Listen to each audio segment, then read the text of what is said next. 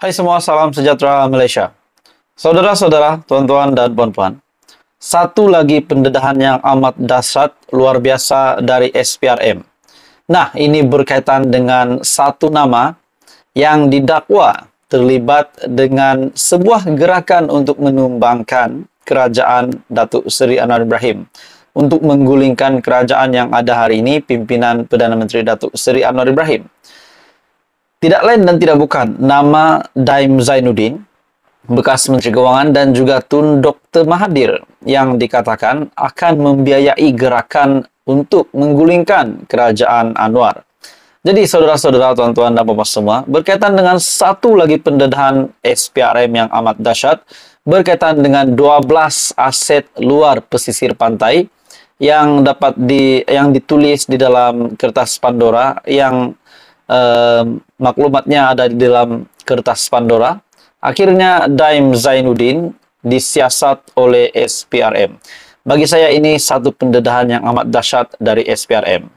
Dalam sebuah artikel dari sengatdaily.com, isu 12 aset luar pesisir di dedah kertas Pandora. Daim disiasat SPRM. Dalam artikel ini, bekas Menteri Keuangan tersebut Tun Daim Zainuddin didakwa mengadakan pertemuan sulit dengan tiga operator politik Parti Pembangkang sejak beberapa hari lalu. Rakan lama dan sekutu Tun Dr. Mahathir Mohamad itu didakwa membuat perancangan untuk menggugat kerajaan perpaduan pimpinan Datuk Seri Anwar Ibrahim. Nah, saudara-saudara, setelah um, terdapat desas-desus ataupun kabar angin bahwa ada gerakan yang dimulakan untuk menumbangkan kerajaan, menggulingkan Datuk Seri Anwar Ibrahim dan gerakan ini kononnya dibiayai oleh Dr. Mahathir dan Daim Zainuddin. Dan objektif mereka juga adalah untuk menaikkan semula Mahyadin menjadi Perdana Menteri sekaligus 10 ahli parlimen Barisan Nasional yang um, akan turut serta di dalam gerakan ini dengan meletakkan jawatan bagi uh, memberi laluan kepada pilihan raya kecil. Dalam artikel ini, perancangan tersebut dikatakan bagi mengelak pendakwaan terhadap salah laku membabitkan jutaan ringgit wang negara yang dihadapi oleh pihak tertentu sekarang. Sebelum ini, Suruhanjaya Pencegahan Rasuah Malaysia SPRM dilapor sedang menyiasat kekayaan di luar negara milik Daim dan keluarganya seperti didedahkan kertas Pandora. Nah, tuan-tuan dan semua dalam um, artikel ini yang panas, yang saya tertarik, yang mengejutkan di mana disebut nama anak bekas Perdana Menteri. Namun kita tidak tahu anak bekas Perdana Menteri itu siapa. Dalam artikel ini, Daim bersama seorang lagi anak bekas Perdana Menteri yang telah dipanggil SPRM pada Februari lepas. Putusan Malaysia melaporkan bekas menteri itu telah diminta menjelaskan aliran uang dan pelaburan ke dalam 12 syarikat luar pesisir yang berdaftar atas namanya dan ahli keluarganya di luar negara. Penyiasat juga dilaporkan sedang menyiasat sama ada dana itu datang daripada projek kerajaan atau tidak. Laporan itu tidak menyebut nama Daim Zainuddin, sebaliknya merujuk kepada bekas Menteri Keuangan berusia 84 tahun. Mereka juga tidak menamakan orang lain yang disoal siasat oleh pihak berkuasa.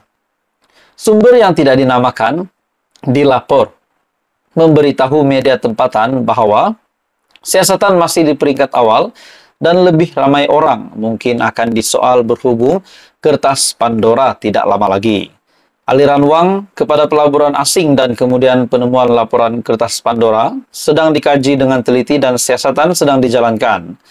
Individu yang dipanggil untuk disoal siasat tidak akan dinamakan seperti amalan biasa berhubung orang yang belum didakwa di mahkamah. Jadi bagi saya saudara-saudara, um, ini pasti satu kejutan kepada Daim Zainuddin, di mana sebelum ini beliau dan Mahathir yang didakwa akan membiayai kononnya ada gerakan untuk menumbangkan, menggulingkan Datuk Seri Anwar Ibrahim. Jadi akhirnya saudara-saudara, SPRM umum kejutan di mana um, isu 12 aset luar pesisir di dedah kertas Pandora, Daim Zainuddin disiasat oleh SPRM. Apa komen Anda? Teruskan bersama di dalam channel ini. Info padu, info hangat disediakan di dalam channel ini. Jangan lupa tekan butang like, share, dan subscribe. Halo semua, salam sejahtera Malaysia. Info padu, info hangat disediakan di dalam channel ini. Selamat datang tuan-tuan dan bapak semua. Hari ini, tuan-tuan dan bapak semua, kita digemparkan dengan sebuah kenyataan dari Parti Amanah, parti yang bersama di dalam kerajaan hari ini, parti yang bersama-sama di dalam Pakatan Harapan. Saudara-saudara, kita digemparkan juga sebelum ini dengan sebuah um, kononnya ada satu gerakan ataupun kabar angin lah satu gerakan untuk menggulingkan kerajaan Datuk Seri Anwar Ibrahim. Hari ini pula tuan-tuan dan bapak semua, amanah, parti amanah tiba-tiba membuat sebuah keputusan yang amat dahsyat mengejutkan. Ini pula berkaitan dengan um, pengampunan um, Datuk Seri Najib Razak. Nah, ini menjadi persoalan ramai orang. Sudah pasti penyokong Najib, uh, seluruh kepimpinan AMNO mahu bosku untuk dibebaskan, untuk diampunkan. Nah, pada akhirnya amanah tampil bersuara. Mereka membuat kenyataan bahwa pengampunan ini tidak relevan. Ah, lebih kurang begitu. Pengampunan ini tidak layak diberikan disebabkan uh, takut nanti menjadi titik permulaan dan akan menjadi kebiasaan pada masa-masa akan datang. Itu pendapat saya. Jadi hari ini pula dari satu artikel Agenda Daily, tolak pengampunan Najib, Amanah, dakwah langkah AMNO terpesong. Parti Amanah merayu kepada Yang di-Pertuan Agong dan Lembaga Pengampunan agar menolak permohonan Datuk Seri Najib Razak untuk diampun dan dibebaskan dari penjara. Sudah pasti ini menjadi satu lagi um, isu yang bagi saya pasti mengejutkan di dalam kerajaan disebabkan AMNO pun kerajaan, amanah pun kerajaan juga disebabkan Barisan Nasional dan PH yang bergabung hari ini sebagai kerajaan perpaduan. Dalam artikel ini dari Agenda Daily, rayuan amanah tersebut dibuat menjelang sidang lembaga pengampunan yang dijangka akan membincangkan berhubung permohonan dibuat AMNO untuk membebaskan Najib yang sedang menjalani hukuman penjara ekoran sabitan kes SRC International Sendirian Berhad. Jadi, adakah ini keputusan amanah ini akan menjejaskan hubungan di antara PH dan BN dan akan membawa kepada keputusan yang pasti mungkin um, luar jangka kita. Ah, mungkin amanah tidak setuju lagi dengan kerajaan hari ini. Namun bagi saya setakat ini apa yang saya uh, apa yang saya dapat teliti di sini, amanah hanya membangkang tentang isu pengampunan Najib. Dalam kenyataan yang dikeluarkan pengarah komunikasi amanah, Khalid Abdul Samad, parti itu berpendirian hanya dengan cara itu sahaja nama baik negara dan komitmen untuk memerangi rasuah dan penyalahgunaan kuasa dapat dijaga. Ini adalah berhubung dengan permohonan dibuat AMNO untuk membebaskan Najib yang sedang menjalani hukuman penjara ekoran kes SRC International Sendirian Berhad. Dengan penuh hormat dan takzim, kami dari Parti Amanah Negara ingin merayu kepada Agong dan Lembaga Pengampunan supaya permohonan pengampunan ini ditolak dan Najib terus dipenjarakan atas sebab kesalahan yang jelas telah beliau lakukan. Adakah dengan ini Najib Razak akan menghabiskan um, eh, 12 tahun ataupun baki temponya tempo hukumannya di penjara? Dalam artikel ini, hanya dengan itu rakyat akan yakin bahwa Kerajaan Perpaduan dan institusi Raja-Raja Melayu bersama Seri Paduka ingin menyelamatkan negara kita dari pandemik rasuah dan salah guna kuasa yang melandanya sekian lama, katanya dalam kenyataan yang dilaporkan oleh Harapan Daily.